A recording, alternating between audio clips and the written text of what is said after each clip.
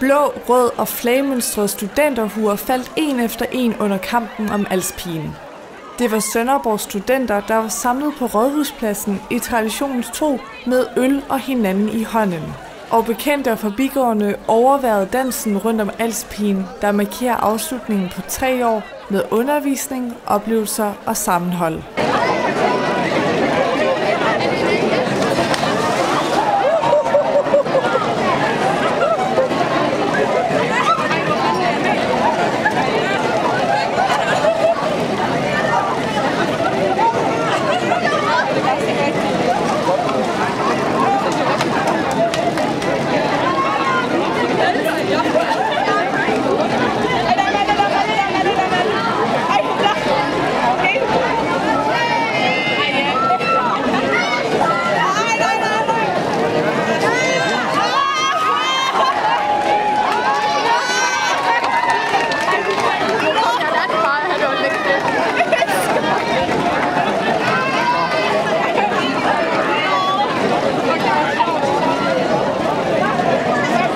At blive student i år? Det er ret dejligt. Ja. Det har været virkelig, nogle virkelig tre hårde år, så det er virkelig dejligt bare at være færdig. Ja. Er du meget glad for at have taget en gymnasiel uddannelse? Altså ja, det vil jeg sige. Ja. Det var lige det eneste, jeg sådan tænkte på, hvad, altså sådan, hvad jeg kunne gøre lige. Sådan. Ja. Altså nu har man lige kendt, eller lært de her mennesker at kende i tre år, og så skal man videre lige pludselig. Og så... Jamen, hvad skal du så lave nu? Øh, Jeg tror, jeg tager faktisk to sabbatår. Ja, for jeg ved, jeg har ingen idé lige nu faktisk overhovedet. Nej. Så du skal måske ud og rejse, eller? Det er min plan i mit andet år. Først lige det første år, sådan lige at spare op og arbejde og sådan lidt. Ja.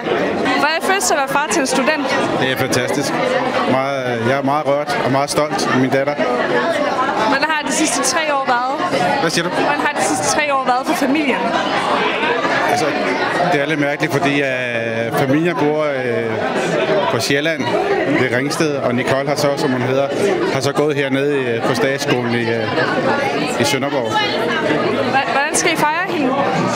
Altså, vi fejrer hende hele den her uge her, og med blandt andet i dag også. Ikke også? Og så har hun jo sig selv, så skal hun jo ligge i, i sprut i et par dage, ikke også? Så Stort tillykke med hende. tak for det. Det er, altså, det er en overvældende følelse. Øh, man, man, man føler rigtigt, at der, nu, nu får man øh, et åbent valg af muligheder her, i stedet for at sidde på en skolebænk og, og ja, gøre det samme, som man har gjort i ja, det meste af sit liv. Hvordan er sige farvel til de sidste tre år?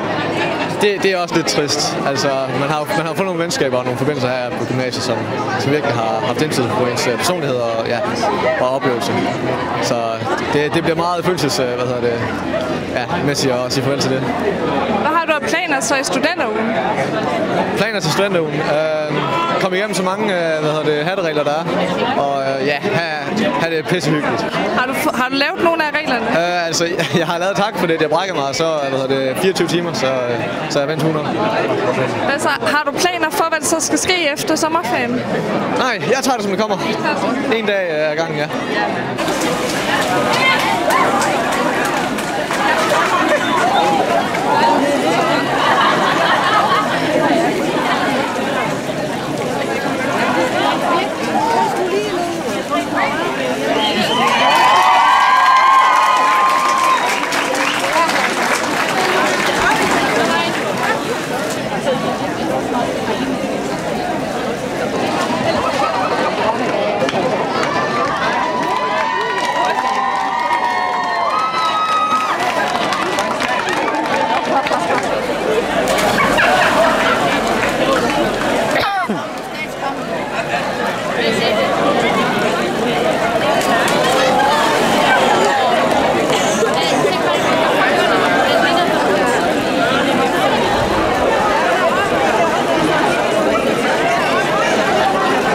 Det er rigtig dejligt.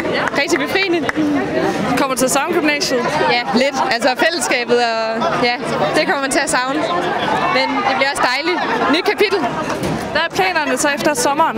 Øh, Jeg tror, jeg skal arbejde lidt, og så tror jeg, jeg tager på højskole.